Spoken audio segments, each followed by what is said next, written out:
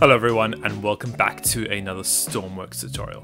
Now in this video I'll be showing you how to use the new radio antennas here in Stormworks. We'll show you how to send data and receive them, along with that go over the components, how to wire them up, what you need, uh, along with that how to actually build up the microprocessors to actually transfer all that data. Now if you're enjoying these videos, comment below anyone else you'd like to see in any of my future videos. While you're there, don't forget to hit the like and subscribe button and remember to click the little bell icon to be notified any of my upcoming content as soon as it gets posted. So that all said, let's get straight into it and get started with the tutorial. So to start, we're back here in the workbench. Now you can see just in front of me, I have got a little base like we usually do for our tutorials here. Now, what we're going to be doing is we're going to be setting up two terminals. One terminal to send a signal from and one terminal to receive a signal from. So the first component we're going to need is actually going to be our radio stuff. So you can see here we have the four different types of antennas that we have obviously showed in the last video. However, we're going to be using the small one right now. So I'm just going to grab that and we're going to be placing it down just over here. Okay, so we have two, one to send and one to receive. Now they can both obviously receive and send at the same time, but for this example, we're just going to be doing a simple way to send and a simple way to receive. The next component we're going to need is obviously going to need be a battery. Now, the reason why we need battery is because we're in advanced mode here. So I'm just going to place down a simple battery just over here. Now, these uh, pieces actually can be on a completely separate different uh, creations and they will still work, so you can do that. However, for this example, we're just building on one to show you how it works. Now, the next thing we're going to need is obviously something to send a signal with. Now, I'm going to be using just a simple on-off block and I'll also use a number keypad to send a number across. So I'm going to get that on one side. Okay, so we got that. And then on the other side, what we're going to do is we're going to receive that number and receive that on off. And to do that, I'm just going to be using a light switch and I'll also use a dial to read the number that we have gotten from that side. Okay, so perfect. All great so far.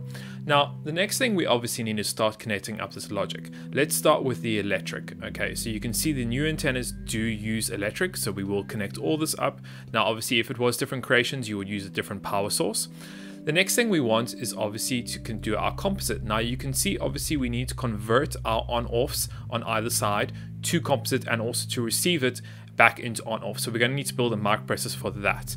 Same goes for our signals here, we need to convert that into our signals. However, on the antennas, you can see they actually have their own inputs. This is going to be to set the frequency and the receiving channel of the radio itself. Now, I'm going to be use a, using a simple number block over here, right in the middle, and I'm going to say, okay, I want you to receive and send on number one, okay, channel one. So I'm going to be sending that for both of them over here, guys. Now, the next thing, as I said, is we need to build our microprocessor.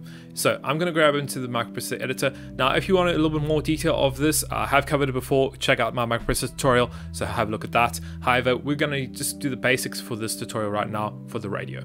The first thing you want to do is obviously go over to your properties. I'm going to write uh, test radio and call it that. Along with that, as I'm going to make it one size bigger because I'm going to need a couple nodes on there. Uh, and we're going to use the symbol of T for test, okay? Perfect.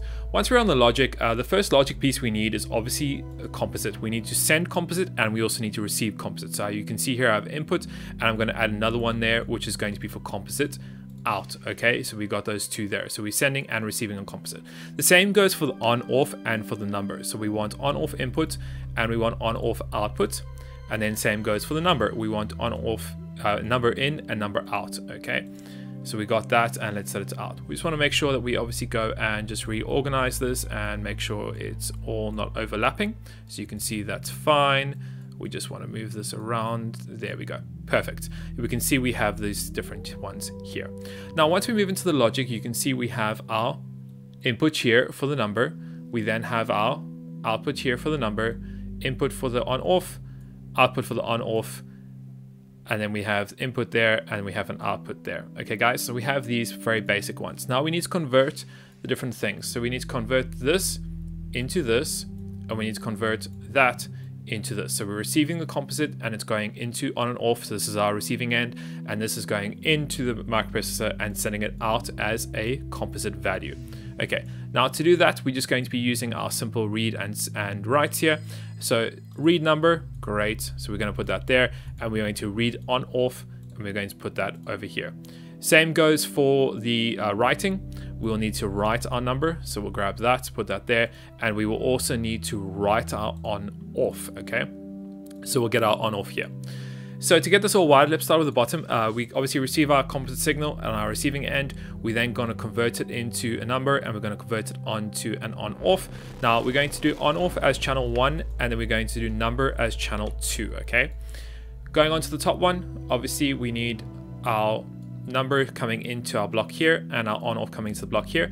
As I said, on off is going to be channel one and our number is going to be channel 2 okay? So you can see there it comes in. It's then going to loop back into this one and then go out into that one okay. Very basic. You guys can obviously play with this a little bit further and get into a little bit more detail of this and get a little more creative. You can also use the new lua block. However we won't be covering it in this tutorial. Once we have that and we're happy with all how that works and we've got our right channels everywhere the next thing we want to do is obviously save this. I'm just going to save it as test radio tutorial. Click save exit this and then actually add it in. Now we'll need to add two, obviously one on the sending end and one on the receiving end. So we're going to go and place that down on either side. Perfect. We now need to start doing our logic. So we're going to start with the composite, okay? So composite, you can see here we have in and out. So we got data being received and data being sent. We actually don't need this one because this is only our receiving end. And over here, you can see we have our in here. So it's receiving data coming in. We don't need it there because that's our sending one. And we need to just connect that to send data across. Okay. Next thing is we need to do our actual signals here. So you can see we've got our, our button here going into the processor and our number going to the processor. And we have our number coming out over here into our dial and our on off coming out into our actual light itself. Double check we have all electricity done, double check we have everything else connected, and then what we can do is we can actually spawn this in. Now, spawning it in, quite simple. You can see we obviously have our different antennas.